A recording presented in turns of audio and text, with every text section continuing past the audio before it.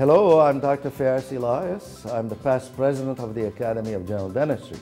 I'm standing here in the most beautiful home of Edsel and Eleanor Ford in Grosse Pointe, Michigan, home of the legendary Ford family, where American culture was built and philanthropic efforts to advance education and research were made.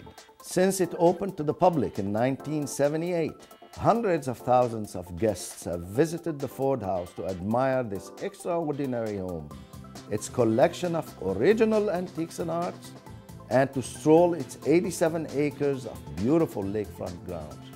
The Fords built this home as a place where they could combine their family's activities and interests with their concern for the local community. The Academy of General Dentistry shares similar values. It was founded in 1952 and it is the second largest dental organization in the United States.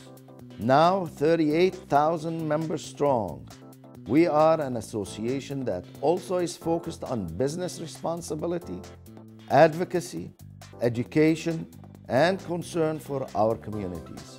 We are general dentists who are dedicated to providing quality dental care and oral health education to the public.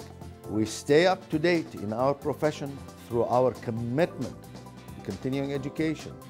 And that commitment and drive are coming to Michigan in 2014. That's right.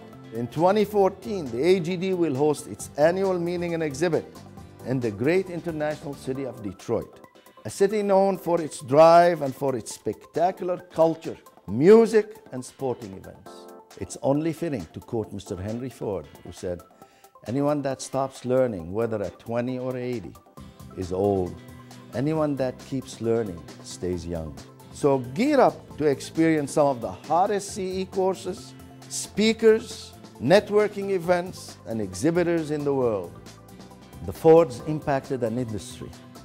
The Academy of General Dentistry's dedication to education and advocacy impacts our profession. Find out why the AGD is your voice for excellence through education and advocacy.